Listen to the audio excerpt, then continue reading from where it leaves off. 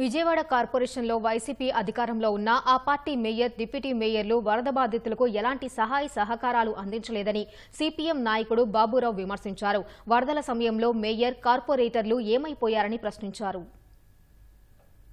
YCP తరఫున పాలకపక్షంగా corporation ఉంది. అసలు కార్పొరేషన్ ఏమైంది? ప్రజాప్రతినిధులు ఏమయ్యారు? మేయర్లు డిప్యూటీ మేయర్లు?